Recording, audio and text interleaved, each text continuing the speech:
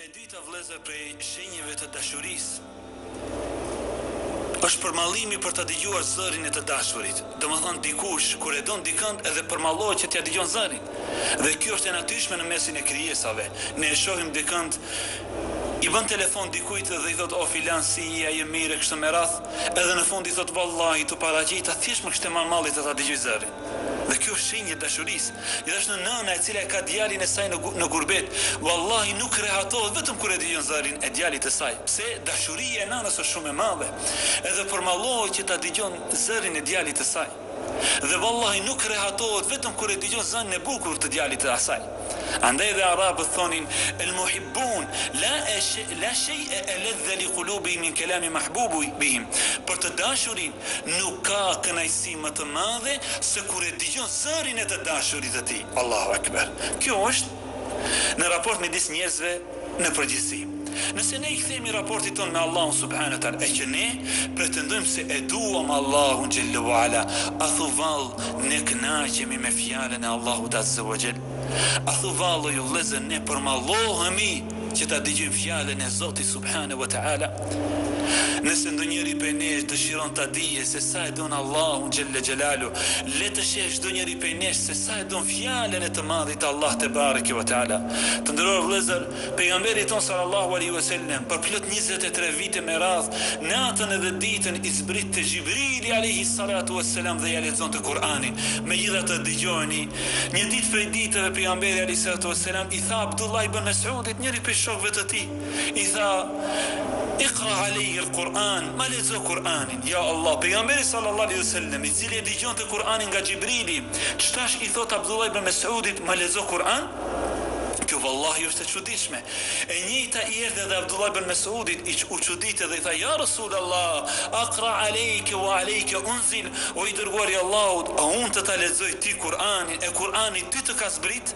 Pejgamberi sallallahu alejhi ve sellem i tha, Fe inni uridu en esma'a min gajri, Unë dëshiroj ta dëgjoj atë prej dikujt tjetër. Ja Allah!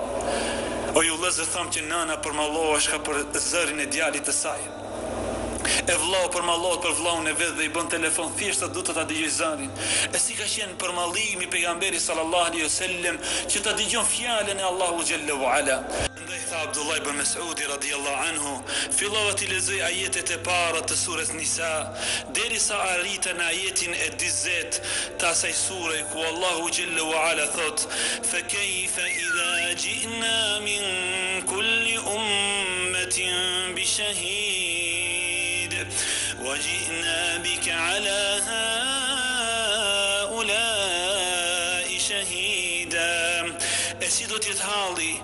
Atë ditë kur prej çdo popullit do të bim dëshmitar dhe ti o Muhamed alejhi salatu ue selam do të jesh dëshmitar për gjithë njerëzit në atë ditë të madhe, thotë Abdullah ibn Mes'udi, në atë moment e ngrita kokën kur thotë ja e pashë Pejgamberin sallallahu alejhi ue sellem se si ishte lagur mjekra i përlotur duke i dëgju fjalët e Allahut tebareke ue teala.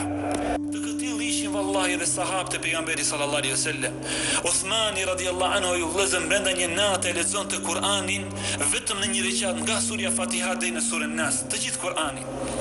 Ai i cili thonte radijallahu anhu law tahurat kulubuna ma shebi'at bi kelami Rabbina, po të pastroheshin zemrat tona kurrë nuk do të ishin ngopë me fjalën e Zotit subhane ve teala. Nëse dashuria jonë ndaj Allahut azze o xhel është e madhe dhe është reale, ne nuk do të ishim ngopë duke dëgju fjalën e atij të i E duam, Ai është Allahu te bareke ve teala. O ju vëllezër, derisa një ditë Omer ibn Khattabi radhiyallahu anhu, Omeri, Khalifja i muslimanëve, Emirul Mu'minin, Emiri i besimtarëve, ishte i ulur në një tubim me disa prej sahabëve radhiyallahu anhu, aty parë kaloi Ebu, Ebu Musa el-Esh'ari. Ebu Musa Esh'ariu radhiyallahu anhu është njëri prej sahabëve të Pejgamberit sallallahu alejhi ve sellem, i cili është njohtë me zërin e bukur që e ka pas. Kaloi pranë Omerit radijallahu anhu dhe Omeri i tha, Ja Eba Musa, dhekkirna Rabbena, O Ebu Musa, na i kujto Zotin. Allahu Ekber. O Ebu Musa, na i kujto Zotin. Dhe filloi Ebu Musa radijallahu anhu të lexon Kur'an deri sa filloi të qan Omeri radijallahu anhu. Po ju vëllezër, ai i cili dëshiron ta kujton Allahun, Allahun e gjen në Kur'an.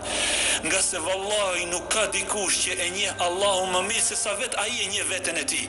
Nuk ka dikush që i njeh më mirë emrat e Allahut dhe cilësitë e Allahut se vetë Allahu te bareke ve teala.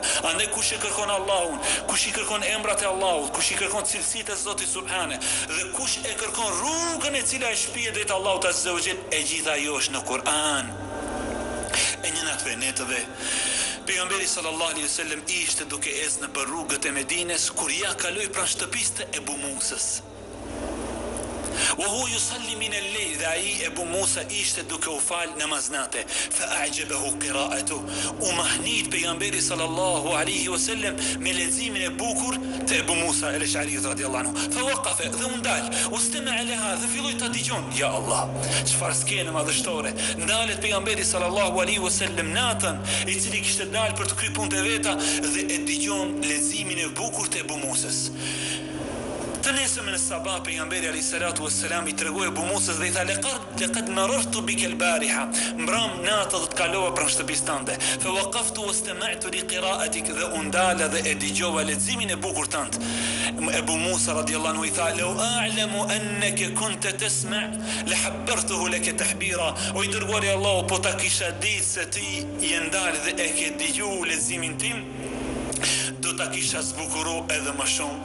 Zarin. Allahu Ekber. Për, përmallohshte Pejgamberi Sallallahu Alaihi Wasallam edhe në atë mesnatë që kishte dalë për të kry punët e tij, vetëm kur e digjoi fjalën e Allahut u ndal edhe u mahnit me zarin e bukur të Ebu Musës. Andaj tregojnë dietarët oj vëllezër se kënaqësia më e madhe e banorëve të Xhennetit është Kur ta shohin Allahun dhe kur ta dëgjojnë zërin e Allahut azze wa xhel, wallahi nuk iu është dhanë banorëve të Xhennetit diçka më e madhe dhe më e bukur se sa shikimi në fytyrën e Allahut xhelle wa ala me sy dhe dëgjimi i fjalës së Allahut azze wa xhel me ndigjim. Allahu ekber. E lusim Allahun te bareke wa teala që të na bënë prej atyre të cilët vazhdimisht përmallohen për librin e Atij dhe e lexojnë atë.